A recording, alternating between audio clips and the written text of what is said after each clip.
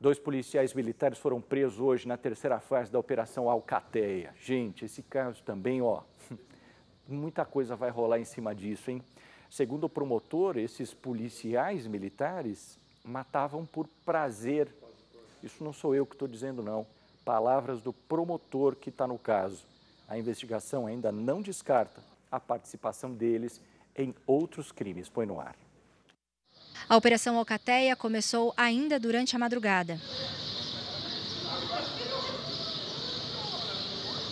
O Departamento de Homicídios da Polícia Civil, com o apoio da Corregedoria da Polícia Militar, cumpriu mandatos e prisões de três pessoas em Ribeirão Preto e Guatapará.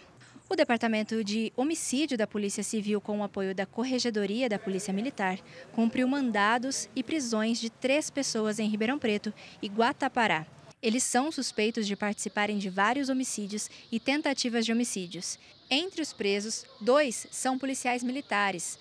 O promotor Marco Túlio Nicolino acompanha o caso. Os elementos eh, que surgiram até agora, por incrível que pareça, falam em, em prazer, simplesmente de matar, em algumas oportunidades Uh, em busca de droga e dinheiro que possivelmente poderiam estar em poder de pessoas envolvidas com o mundo do crime. Essa é a terceira fase da operação.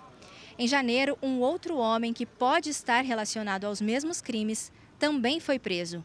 O ex-policial Yuri Vinícius de Almeida Mata, de 28 anos, é suspeito de participar de pelo menos oito assassinatos. Oficialmente, a Polícia Civil só confirma que ele estaria sendo investigado por uma tentativa de homicídio que aconteceu no início deste ano. Um homem foi baleado quando saía de casa para trabalhar no bairro Vila Carvalho.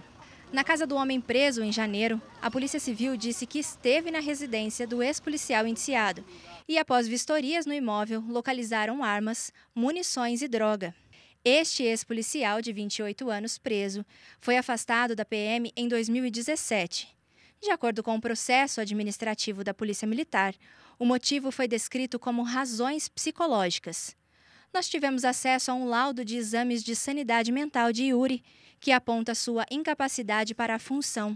De acordo com o laudo médico, Yuri, após o seu ingresso na Polícia Militar, adquiriu depressão, o que levou a fazer o uso de entorpecentes. Ele tentou suicídio duas vezes.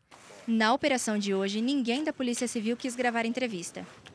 A mesma informação foi repassada pela Corregedoria da PM, que confirma a operação, mas diz que a operação permanece em sigilo até este momento.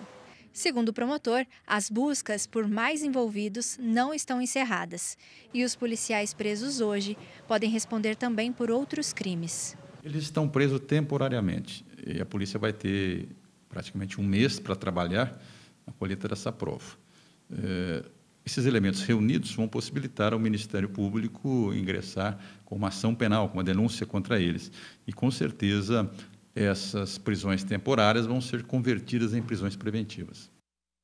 Pois é, até falei com o delegado hoje sobre isso, mas Pagliani, nós não podemos falar, está em segredo de justiça, e até por uma questão de não atrapalhar a investigação, porque é, acaba aí né, envolvendo um trabalho muito grande. E assim, entre nós aqui, entre eu e você, telespectador, né, você sabe que a gente sempre mostra polícia prendendo, polícia investigando, polícia civil e militar junto, que é esse tipo de polícia que a gente gosta de ver na rua. Agora, você imagina, é uma situação realmente muito delicada, né? Você tem uma instituição policial, tem que investigar a participação de policiais de outra instituição envolvido em coisas erradas repito a vocês o que eu sempre falo aqui em outras ocasiões, né? não é a maioria da corporação, não é, não são todos os policiais que fazem isso, mas quando aparece toma uma proporção né, bem grande.